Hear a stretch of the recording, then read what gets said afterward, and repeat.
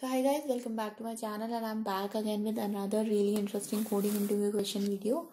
Uh, guys, this is one of the top interview questions in LeetCode and it is the part of medium level questions and today we are going to solve it right here in this video. And uh, guys, if you like my content and you want to support me then please, please, please I request you to subscribe to my channel, hit the bell icon for further notifications. If you like this video plus do not forget to hit the like button and share it with your friends as well. And in the end guys if you have any questions comments suggestions feedback for my content please put them in the comment section below. I would be happy to address them as soon as i can. Now without delaying this video any further let's get started so uh, guys first of all let's read the problem statement and the problem statement is really straightforward guys. We are given a m cross n matrix and we have to modify the matrix in such a way that if there is any cell having zero value then we have to set that entire row and that entire column as zero and we must uh, modify the matrix in place so you must do it in place so in this case you can see guys that this 2 comma 2 value or the middle value of the zero uh, of the matrix is 0 so that's why the entire middle row and the entire middle column is set as 0. There is a similar example here also guys and let's read the constraints. The constraints are basically that both the row and column are from 1 to 200 and the value of the matrix is minus 2 to the power 31 to 2 to the power 31 minus 1 which is basically the range of an integer. And there is going to be at least one row uh, definitely because both m and n are from 1 to 200 right? Uh, there is some follow-up here written guys. I'll not go through that.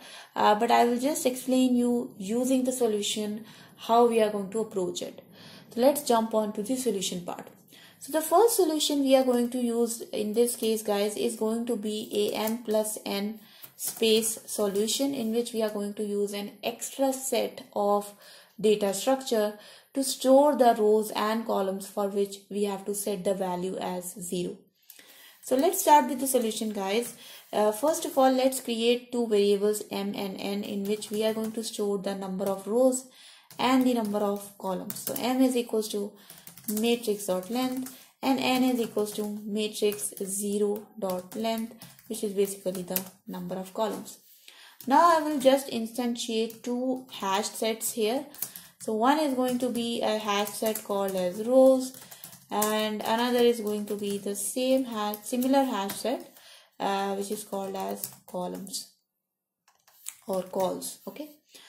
Now we are just going to iterate through our entire matrix. So i 0 to i less than n, i plus plus and for integer j equals to 0 to j less than n, j plus plus and now simply check if matrix i j is equal equals to 0 if the cell value is 0 simply add the uh, ith uh, row to our rows, ha uh, rows hash set and the jth column to our calls hash set and now that's how we will complete our rows and columns hash set and why we are using hash set guys? Because we can encounter the same row and the same column again but we do not want to add it again into our data structure now simply iterate through the entire uh, rows and columns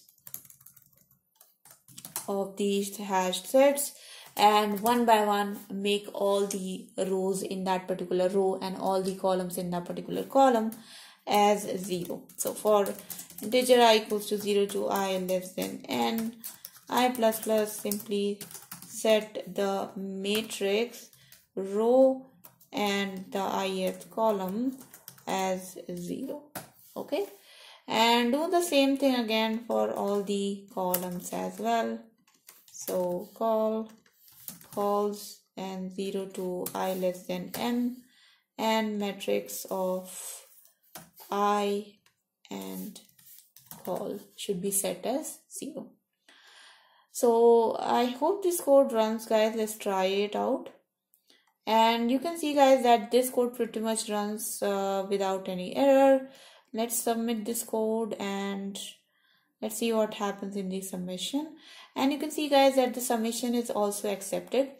But this is not an ideal solution guys because uh, it is definitely a improvement of a simple brute force solution which will take like m cross n of space so here we are only taking m plus n space but this is not the best solution the best solution could be in which we are not using any uh, of this uh, hash set data structure to store the extra rows and just directly modify the matrix okay uh, so let's go through that solution guys which will be our order of one space solution or I would say like no extra space solution.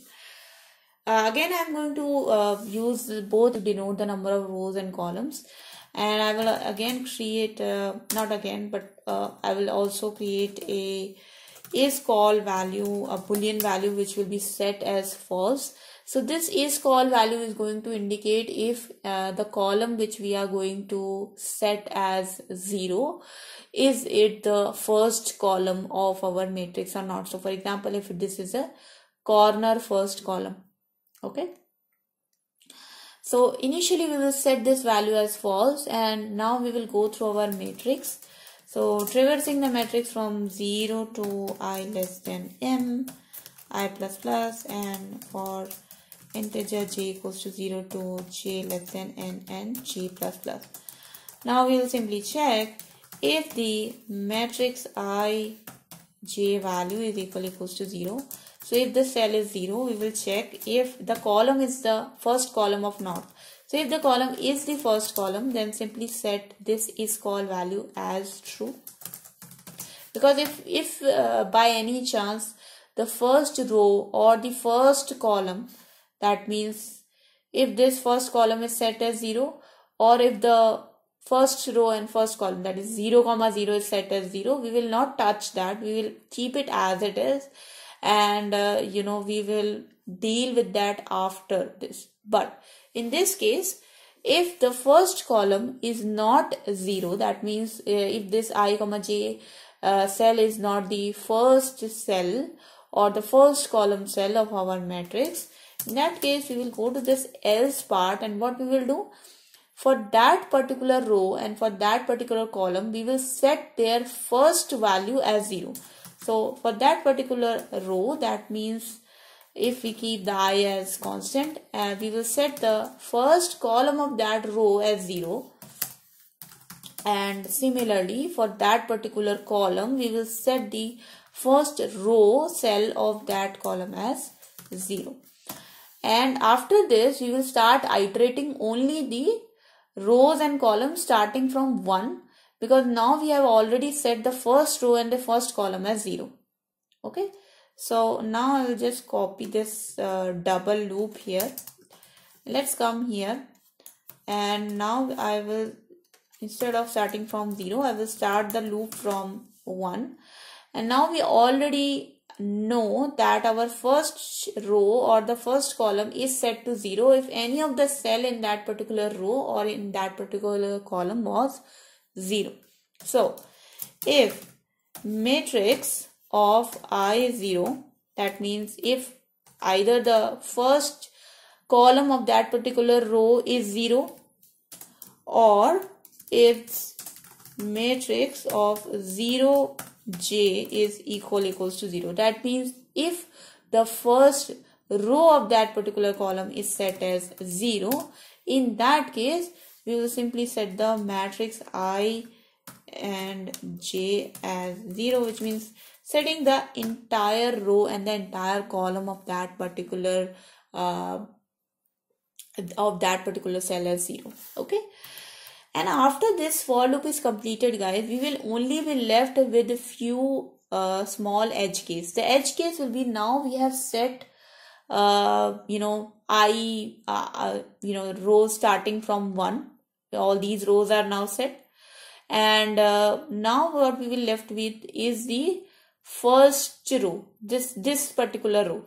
Because now because if the first column was 0 we didn't set anything. If the first row was 0 we didn't set anything here. So that's how this particular row is set is uh, now left but other than that we have now set zeros in this uh, column. We have set zeros in this column based upon the condition that the first row first column was set as zero. And in this case again the last column but the first row is set as zero. So now it's the time to check if my first cell was zero or not so if the first cell was 0, this becomes a special case. In that case, we will again uh, start a loop from, we'll just set the entire row, entire first row as 0. So j0 to j less than n, j plus plus and just set the entire first row as, uh, you know, 0. So 0j becomes equals to 0. And now we will also check if the is call value is true or not. So that means if we ever encountered the first column and uh, for that particular first column the entire uh, value we have to set as zeros. In that case just check if is call equal equals to true. If is call is equals to true just run the loop for the entire row here. So i 0 to i less than uh, i less than m i plus plus and just set the entire row as 0 so which means the matrix uh, i and matrix and the column 0 as 0 now let's run this code guys and let's see if this works. And there are no compilation errors and no there are no compilation errors. Let's submit this code guys and uh, I hope the submission is successful and it is and let's see the details. The submission details are pretty promising guys. The runtime and the memory distribution both are pretty fine. I do agree that this solution is a little bit difficult to understand because of a lot of math involved in it. The previous solution was definitely much better or easier to understand. So what you can do in your interviews guys, you can come up with an entirely m cross n brute force solution. You can try to improve it with the help of Hashset but if you are good in mathematics and you know about you know these uh, uh, matrix uh, operations and how to set the rows and columns then you can come up with this optimized solution as well. Of course it comes with a little bit of practice. So i hope guys you guys got a little bit better in your coding practice. And if you like this video please do hit the like button and share it with your friends as well and uh, please do not forget to subscribe to my channel guys. Hit the bell icon for all my future videos. I post a video every day from monday to friday unless i'm busy or i have some other work to do. I try to keep a very constant uh, schedule. And uh, yes guys that was the video. If you have any comments suggestions feedback questions for me please put them in the comment section below. I would be happy to address them as soon as i can.